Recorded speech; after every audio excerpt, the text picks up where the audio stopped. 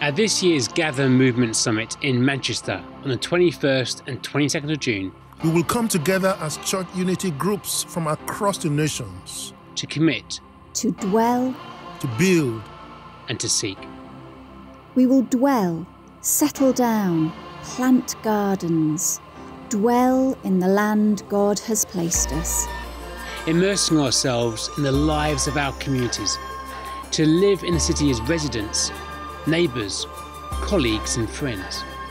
We choose not to keep ourselves to ourselves, but to serve and bless, to walk alongside, to share Jesus with the people we encounter. In the midst of the challenges, we see potential, and we know our place will be developed by those who stay for the long term. We will build, build better and bolder. As we look to establish healing and wholeness in our communities with jobs, food security, by befriending the lonely and the marginalised.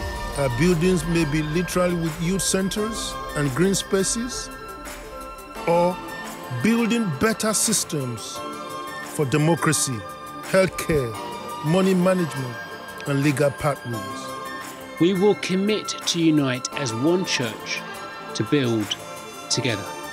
We will seek, seek the peace and prosperity of the city the shalom of God in the places He has called us, the well being of all people, especially those on the fringes. We give ourselves to God's vision to bring completeness and flourishing to the city. We won't focus on our own prosperity, but turn to the pain of our places, seeking God in prayer that He might reveal His kingdom. Join us on Tuesday the 21st and Wednesday the 22nd of June 2022 in Manchester as we gather together at our first summit in two years. It's not just an event to come and listen, it's a space to participate.